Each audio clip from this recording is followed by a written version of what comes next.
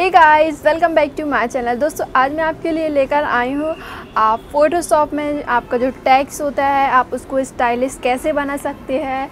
और आपने देखा होगा कि जो बहुत सारे वेडिंग इनविटेशंस होते हैं, उसमें जो कपल्स के नेम वगैरह होते हैं, हम उनको स्टाइलिश लिखते हैं।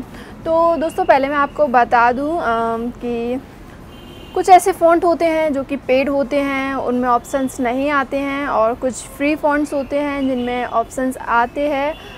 उसको स्टाइलिश बनाने के तो मेरे पास जो फ़ॉन्ट है, अभी मैं यूज़ करने वाली हूँ, ये फ्री फ़ॉन्ट है।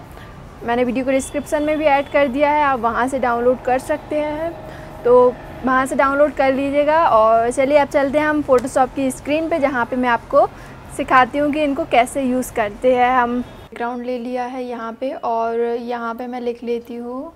सपोज़ मैं लिख लेती हूँ वेडिंग डे तो दोस्तों, मैं फ़ॉन्ट सेलेक्ट कर रही हूँ यहाँ पे।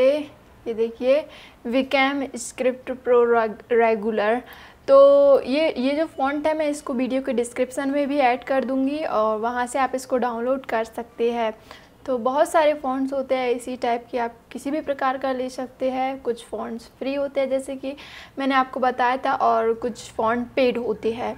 तो फ़िलहाल मेरे पास ये है। सो so, देखिए अभी मैं फ़ोटोशॉप का वर्ज़न यूज़ कर रही हूँ 2020 तो मुझे नहीं पता कि ये सी एस सिक्स में आता है या नहीं आता है। तो फ़िलहाल मेरे पास है 20 सो देखिए यहाँ पे मेरे नीचे भी आ गए हैं। इसमें ऑटोमेटिक भी आ गए हैं। जैसे मैं देखिए डब्लू मुझे ऐसा चाहिए ऐसा आ जाएगा। ये वाला चाहिए मैं जस्ट इस पर क्लिक करना है। कुछ इस टाइप का आ जाएगा। है ना? और इसके अलावा दोस्तों देखिए, मैंने जैसे ही इधर ये साइड वाला आ रहा था, इस पर क्लिक किया तो यहाँ पे मेरे पास और भी कई सारे स्टाइल्स आ गए हैं। तो ये इसको बोलते हैं ग्लम्स तो अगर आपको ये ऐसा ऑप्शन नहीं आ रहा हो और आपको फ़ॉन्ट चेंज करना है तो आपको घबराने की ज़रूरत नहीं है। ये ऑप्शन विंडो के अंदर, ये देखिए यहाँ पे ये रहा ग्लिम्स ऑलरेडी ऑन है, आपको इस पर क्लिक करना है। तो यहाँ पे देखिए ध्यान रखें, यहाँ पे अल्टरन अल्टरनेट्स फॉर सिलेक्शन होना चाहिए। इसका मतलब कि हम जो भी टैक्स यहाँ पे सिलेक्ट करेंगे, वो वही वाले टैक्स दिखाई देगा जिस पे हमको अप्लाई करना है। सपोज़ मैंने जी किया तो देखिए यहाँ पे मैंने जी पर भी ये इफ़ेक्ट अप्लाई कर दिया है एंड डे पर करती हूँ। तो देखिए यहाँ पे डे पे डे के आ गए हैं, ये वेडिंग डे एंड बाय पे भी कर सकते हैं हम। सो देखिए कितना खूबसूरत सा लिखा हो गया है ये है ना? तो और इसके अलावा दोस्तों आपको एक और चीज़ बताती हूँ। जैसे मैंने यहाँ पे एक टेक्स्ट टूल लिया और यहाँ पे मुझे सर्च करना है ऑर्नामेंट्स तो देखिए यहाँ पे ये कुछ डेकोरेटिव आइटम्स आ जाएँगे जैसे कि आपको आपका टेक्स्ट डेकोरेट करना है। तो देखिए कितने सारे आ रहे हैं यहाँ पे। तो सपोज़ से कि मुझे चाहिए हम्म, ये ले लेती हूँ मैं फ़िलहाल। ये हटा देती हूँ पीछे का फालतू का। सो so, देखिए बैक स्पेस से हटा दिया मैंने।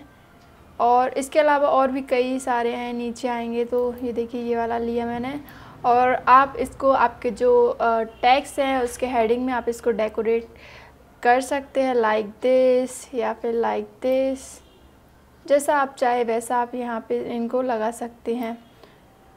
सो so, अभी मैं ऑर्नामेंट्स को डिलीट कर देती हूँ और ये सेम्बॉल वगैरह हैं क्वाड्स हैं बहुत सारी चीज़ें आपको इसमें मिल जाएँगी।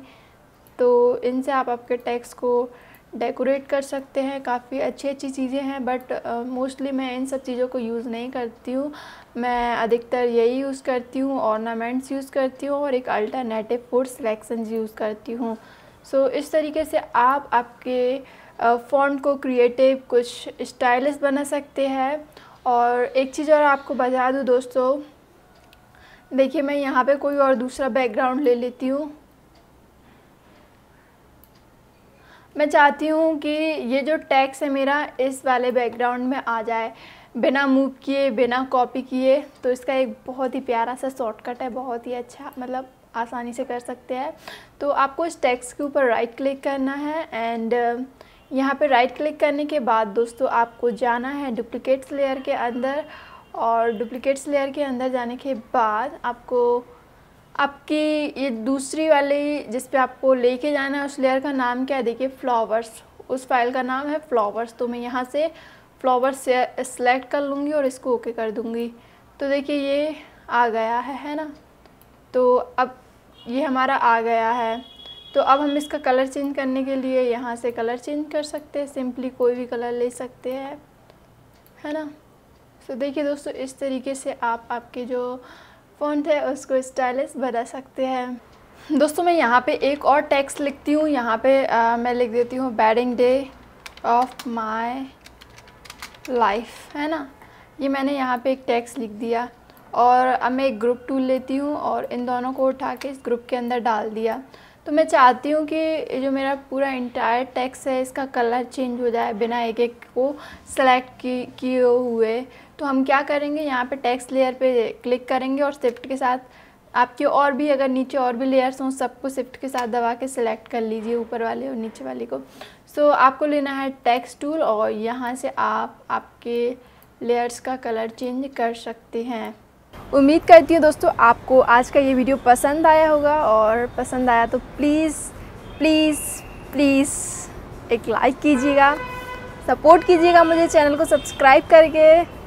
And thank you so much for watching bye